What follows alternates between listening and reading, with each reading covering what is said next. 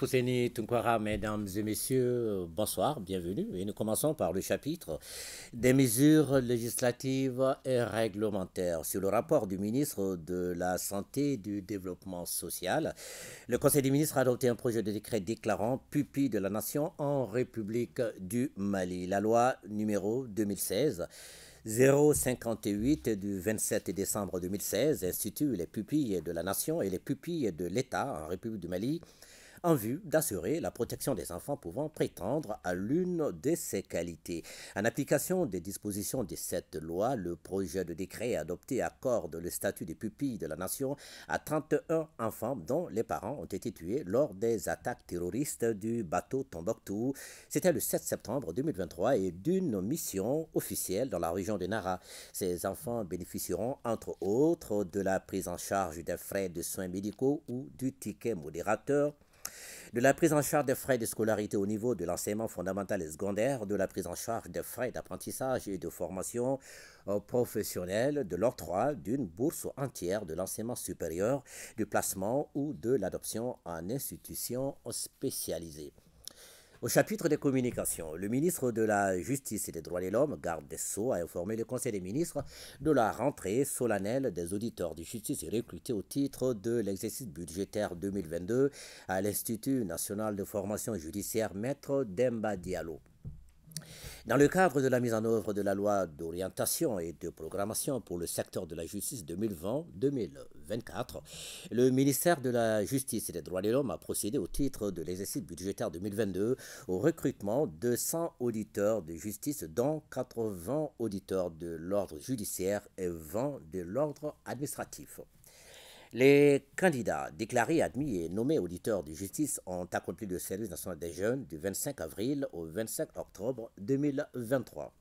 Après ce service militaire obligatoire, ils doivent entamer leur formation professionnelle pour devenir magistrats. Cette formation comprend une phase théorique et une phase pratique d'une durée de 9 mois chacune. La rentrée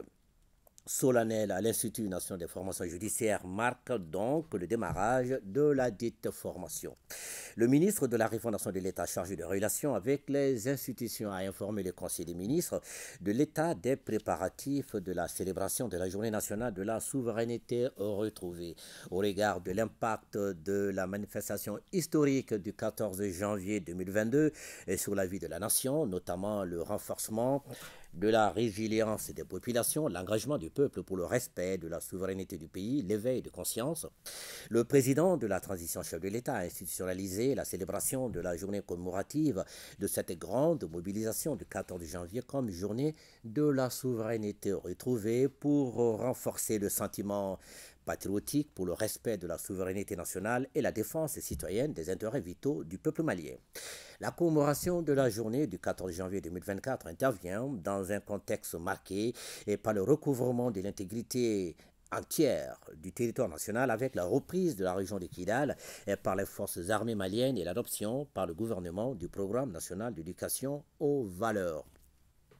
L'objectif général est de mobiliser les énergies pour défendre la patrie et les valeurs républicaines afin de maintenir la flamme patriotique et la volonté de résistance et de résilience face aux défis de tout genre dans le souci de la préservation de la souveraineté nationale, de l'appropriation de la souveraineté par les citoyens et l'affirmation des aspirations légitimes du peuple malien. La journée sera consacrée aux activités commémoratives suivantes, la montée des couleurs et la tenue des conférences dans les régions du Bamako sous la présidence de délégations ministérielles, la leçon modèle dans les écoles, les dons de sang en faveur des blessés de guerre à Bamako et dans les capitales régionales, la promotion de l'usage du drapeau national, L'organisation des tables rondes, des conférences sur les notions de patriotisme, de langue nationale, de triptyque défense, diplomatie, développement, la restauration de la souveraineté nationale et sur le processus de refondation de l'État. Le ministre de l'Éducation nationale a informé le Conseil des ministres de l'évolution des travaux des États généraux de l'éducation. Conformément à l'agenda établi par la Commission nationale d'organisation, les ateliers se sont tenus dans toutes les capitales régionales, le district de Bamako et dans la diaspora, notamment à Berlin, Ottawa, Paris, Tunis et Washington. La phase nationale qui regroupera toutes les parties prenantes à la mise en œuvre des politiques publiques dans le secteur de l'éducation se tiendra du 16 au 19 janvier 2024 ici à Bamako. Le ministre de la Jeunesse et des Sports chargé de l'instruction civique et de la construction citoyenne, informé le Conseil des ministres du déroulement du dîner gala et du téléthon dans le but de mobiliser des ressources additionnelles pour soutenir la participation du Mali à la Cannes Côte d'Ivoire 2023. La Commission nationale de mobilisation pour la participation des aigles à la Coupe d'Afrique des Nations Côte d'Ivoire 2023 a organisé un dîner gala et un téléthon respectivement le 4 et le 6 janvier 2024. L'organisation de ces événements s'inscrit dans le cadre de la mise en œuvre du programme de mobilisation des ressources additionnelles en vue de favoriser une participation accrue de supporters des aigles à la Cannes Côte d'Ivoire 2023 à l'issue du dîner et du téléthon. Les annonces et chiffres à la somme de 138 500 francs CFA. Ces événements ont permis de donner de la visibilité à la participation du Mali à la Cannes et favoriser une mobilisation accrue autour de la sélection nationale pour une meilleure participation des Aigles à la 34e édition de la Coupe d'Afrique des Nations du football prévue du 13 janvier au 11 février 2024 en Côte d'Ivoire. Ce fonds contribuera à soutenir la participation des supporters et des journalistes. Le ministre des Maliens de l'extérieur, le ministre des Maliens établi à l'extérieur et de l'intégration africaine a informé le Conseil des ministres des conclusions des travaux relatifs à la célébration de la Journée internationale des migrants édition 2023. Les travaux de l'édition 2023 de la Journée internationale des migrants se sont déroulés à Sikasso. C'était du 18 au 22 décembre 2023 sous le thème Mobilité humaine et changement climatique. Plus de 300 personnes ont pris part aux travaux de la dite journée, dont des représentants du département ministériel, de l'Organisation internationale pour les migrants, les migrations, des organisations de la société civile impliquées dans les questions migratoires, des services régionaux et subrégionaux à Sikasso, des associations de migrants, de retour et d'immigrés à Sikasso, la presse et des artistes. Les discussions à travers des sessions thématiques des tables rondes et des projections sur les enjeux liés aux migrations et au changement climatique ont permis d'établir le lien entre migration, changement et d'identifier des pistes de solutions pour l'atténuation des effets des changements climatiques sur la population vulnérable. Les travaux ont permis de lancer le processus de rélecture de la politique nationale de migration et son plan d'action et de la politique nationale en matière d'intégration africaine. À l'issue des travaux, plusieurs recommandations ont été formulées. On peut retenir la mise en place des programmes ambitieux pour répondre aux causes profondes de la migration, la mobilisation des ressources nationales en vue de sortir de la dépendance extérieure pour la mise en œuvre de la politique nationale de migration le développement d'une culture de changement de comportement par rapport au changement climatique, le renforcement des capacités des structures et agents en charge de la protection de l'environnement, l'accélération de la mise en œuvre des travaux de la Grande Muraille verte, la vulgarisation de la production et l'utilisation de la fumure organique pour la fertilisation des champs et la restauration des sols, le renforcement de la résilience des populations touchées par les changements climatiques à travers des mesures spécifiques en faveur des jeunes et des femmes. Le ministre de la Promotion de la Femme, de l'Enfant et de la Famille a informé le Conseil des ministres du lancement de la feuille de route issue des recommandations du séminaire de réflexion de haut niveau pour une intégration effective de la dimension genre dans le processus électoral et les réformes politiques administratives au Mali. La feuille de route est le fruit de la collaboration entre le ministère de l'administration territoriale et de la décentralisation, le ministère de la Promotion de la Femme, de l'enfant et de la famille et les partenaires techniques et financiers avec comme chef de file ONU Femmes.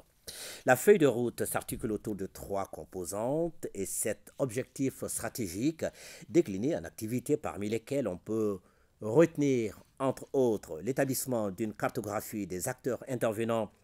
sur les questions du genre, processus électoral et sur les réformes, l'organisation des campagnes d'information, de sensibilisation, la vulgarisation de la loi numéro 2015-052 et son décret d'application au sein des formations politiques auprès des organisations de la société civile, des élus, des représentants de l'État, des magistrats et membres des comités genre régionaux, la réalisation d'une caravane de la paix, de la cohésion sociale pour un processus électoral inclusif et apaisé. Les femmes sont au cœur de tout processus de développement et de paix et peuvent jouer également un rôle essentiel pour surmonter les grands défis auxquels notre pays est confronté. À cet égard, la mise en route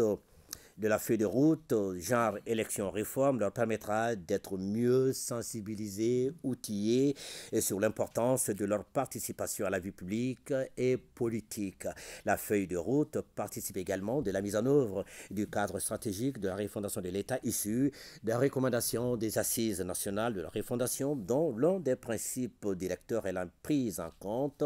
de la dimension genre. La cérémonie officielle de lancement aura lieu le 8 février 2024. Le ministre de l'Artisanat, de la Culture, de l'Industrie hôtelière et du Tourisme a informé le Conseil des ministres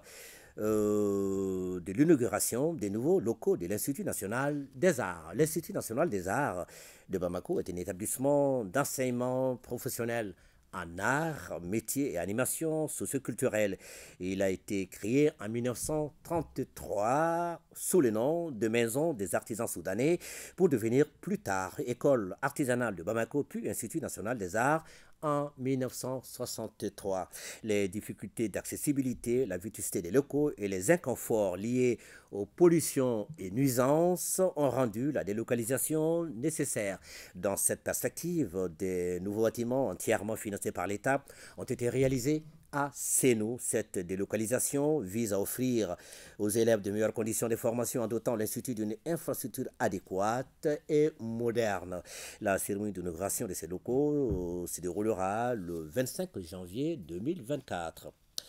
Le ministre de la Santé et du Développement social a informé le Conseil des ministres de la situation épidémiologique du pays, marquée notamment par une stagnation du nombre de cas testés positifs de la maladie à coronavirus par rapport à la semaine précédente, par une augmentation du nombre de cas confirmés de dengue comparé à celui de la semaine écoulée. Le président de la transition, chef de l'État, a appelé la population au respect strict des mesures de prévention et de lutte contre la maladie. Fousseni Toukara à vous. Merci beaucoup, Ibrahim Djambele.